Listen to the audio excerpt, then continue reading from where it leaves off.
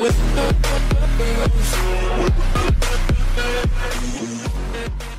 what's up you guys? So I get a lot of questions on the Boom Vaders and the Grom clones on removing the little emission stuff in your stock carburetor. So I'm gonna do a quick little video to show you guys what to remove and how to do it.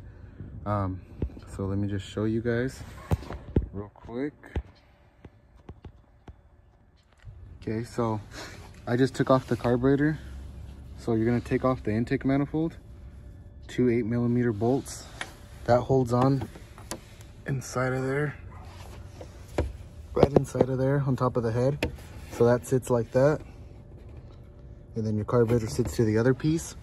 So what you're to be removing is you want to change this or you can cap this you can reuse this manifold if you're to use a smaller carb like a 20 a pz20 or a 22 you want to remove this so all the evap emissions kind of junk um, so you just unbolt this. This is bolted to the carburetor right here. And then it also has this little piece right here. So normally what you can do with this is you can buy an EGR block off. Um, they sell them like on eBay for like five, six dollars. Or you can just cut this, crimp it, and just weld it. This one's shut. That's where exhaust gases will be coming out of. So you need to close that up. And then after you do that, then you just take off these hoses. You can remove all this get rid of all this junk right here in the way. And then you also got a little canister in the back that's in there. So you got to remove that canister as well. And then you can remove the big air box in it. So you can put a, either a forward facing carb or you can put you know the side one with the pod filter. So you remove the whole intake stuff like that. And this is the stock carburetor that comes out of them. This is the one right here. These give a lot of problems and they're just not for performance. So this is a PZ20. Um, it's just not a performance one or really anything good about it. So yeah, you can remove all this stuff. Makes it pretty simple and uh, cleans up the whole engine compartment pretty good.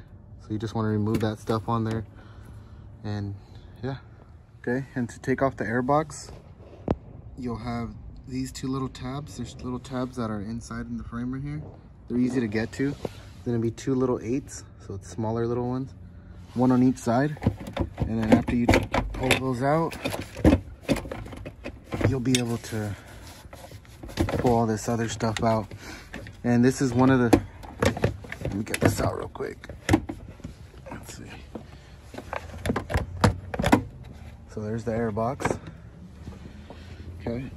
And then you remove, this is the little thing from the breather from the gas tank. So you just leave that one open to the atmosphere. This right here, I always delete, I always delete this and change it out. I always take out this whole setup because a lot of people have problems with this right here. Um, what happens with these bikes is they kind of like vapor lock and the way these just emissions and all the stuff they got on here just don't really work.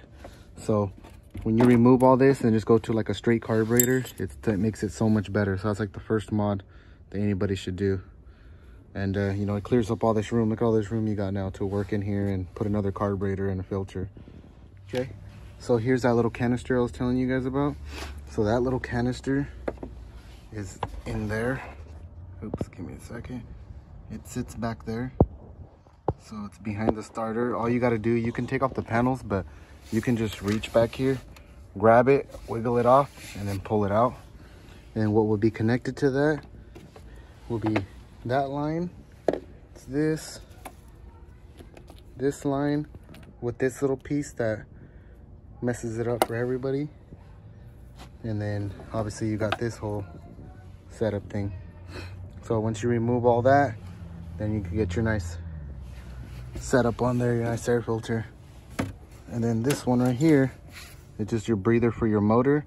So that one normally what i do is i just tie it up and i just leave it up right here somewhere with a little filter on it.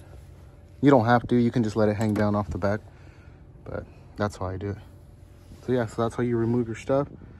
And then pretty soon i'll have a video of different carburetors you can put together and put on here that all work. Thanks for watching